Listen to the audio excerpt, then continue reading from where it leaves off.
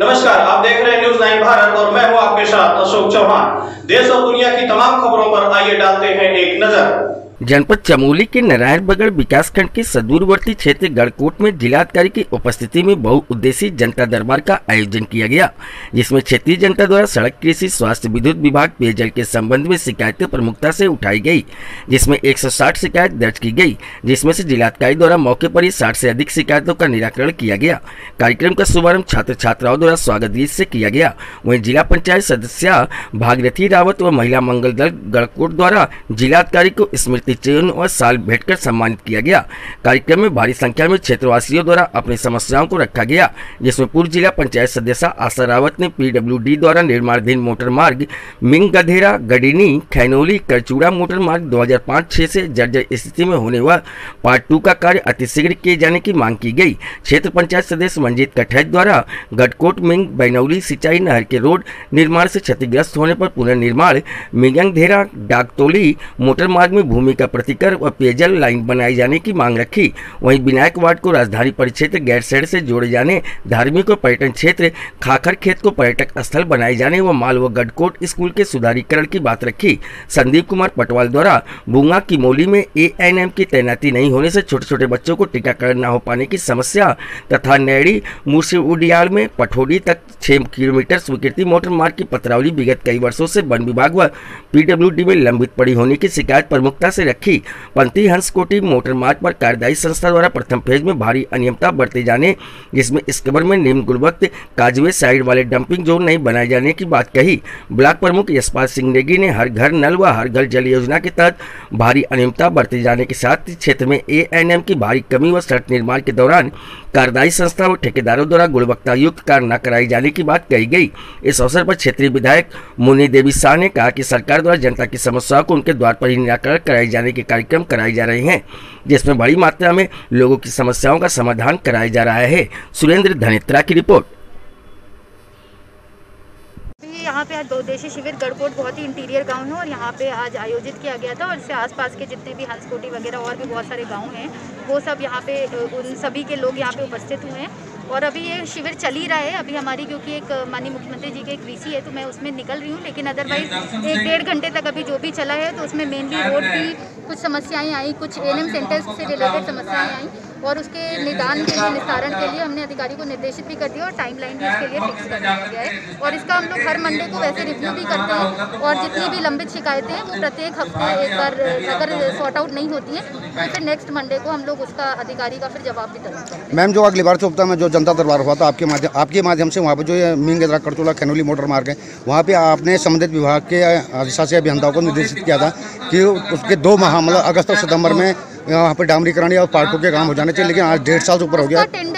जैसे आपने सुना भी कि उसका टेंडर हो भी चुका था उसमें कुछ कमी के कारण उस टेंडर को निरस्त करना पड़ा है और दोबारा से चौदह अप्रैल को उसका टेंडर हो जाएगा वो उस पर तत्काल रूप से काम किया गया दूसरा दूसरी सबसे बड़ी समस्या मैम जो मिंग बनोली सिंचाई की नहर इसी सड़क के मार्ग निर्माण से क्षतिग्रस्त हुई है। तो इसमें भी आपने आदेश किया था पीडब्ल्यू को सिंचाई विभाग को लेकिन अभी तक उसमें कोई काम नहीं हुआ। हंड्रेड परसेंट कार्रवाई हुई है जितनी भी उनकी समस्याएँ थी उस पर मुझे याद है इनफैक्ट अगर आप मुझे एक एक चीज़ याद है कि वहाँ डंपिंग जोन नहीं बनाया गया था वहाँ पे दोबारा डंपिंग जोन भी बनाया गया पीएमजीएसवाई के द्वारा और उसकी मैंने खुद भी रिपोर्ट देखी विद मैम ये रोड के संबंध में लगातार एक वो आ रही है शिकायतें आ रही हैं। आप इंडिविजुअल भैया थैंक यू यहाँ पे गढ़कोट में जिलाधिकारी महोदय द्वारा जनता कार्यक्रम था जनता की जो है आवाज़ जो है उनको ये है कि गाँव में जाकर ही वो जो है जनता की आवाज़ सुनने के इच्छुक थे कि हम जो है गाँव में जाके क्या परेशानियाँ हमारे क्षेत्रीय जनता को हो रही है और क्या हम वहाँ पे जाके दूर कर सकते हैं।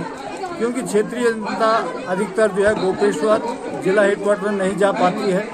तो यहाँ पे जो भी उनकी समस्या है, उनके निराकरण के लिए जिस प्रकार से सरकार का एक मिशन है कि चलो गाँव की ओर, उसी के तहत यहाँ पे जिलाधिकारी महोदय ने यहाँ पे एक प्रोग्राम किया गढ़कोट में, जो कि दूरस्थ इलाका है और यहाँ की बड़ी विषम भौगोलिक परिस्थितियाँ हैं। यहाँ की जो समस्याएँ हैं, उनको एक एक कर जिलाधिकारी द्वारा सुना गया।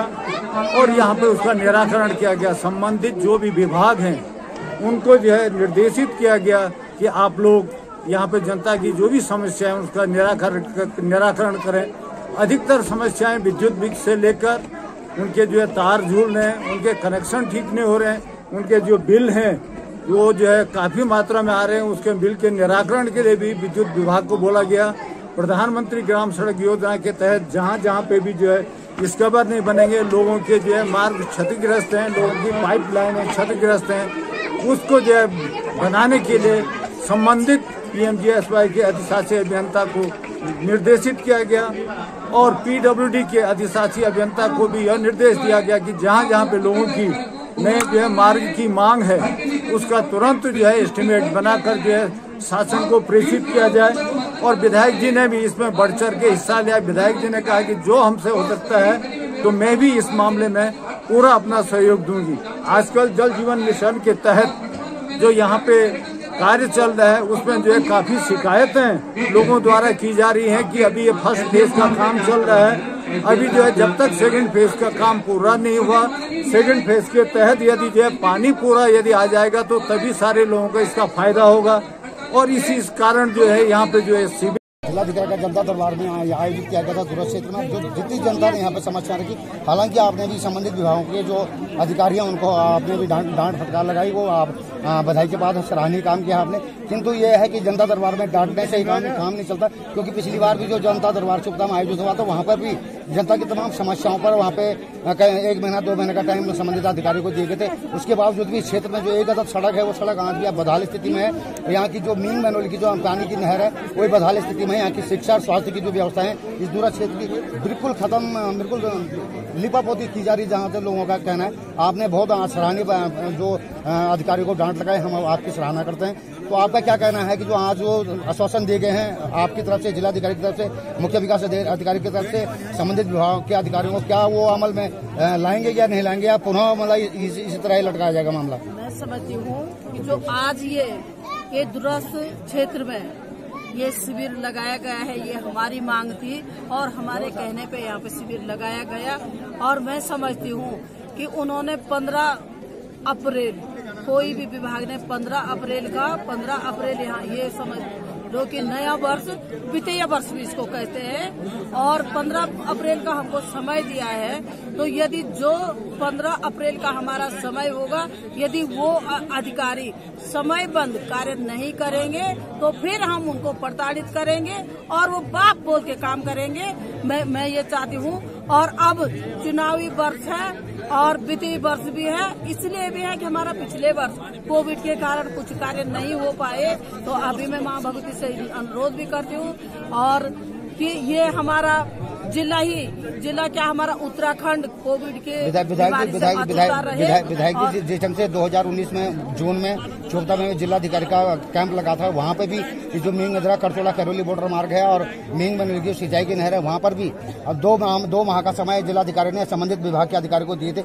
आज पौने दो साल गुजरने के गुजर मींग बनोली के आप मांग कर रहे हैं तो उन्होंने बीस में ये डीपीआर बना के वहाँ दिया था और कोविड के कारण पैसा ही नहीं आया तो अधिकारी भी कहाँ से पैसा देगा? तो अभी उम्मीद है कि हम कोविड छट गया है और जो उनकी डी पी आर है, वो स्वीकृत होकर आ रही है और नहीं आएगी तो हम भी उसमें प्रयास करेंगे, शासन से पैसे लाने का काम करेंगे।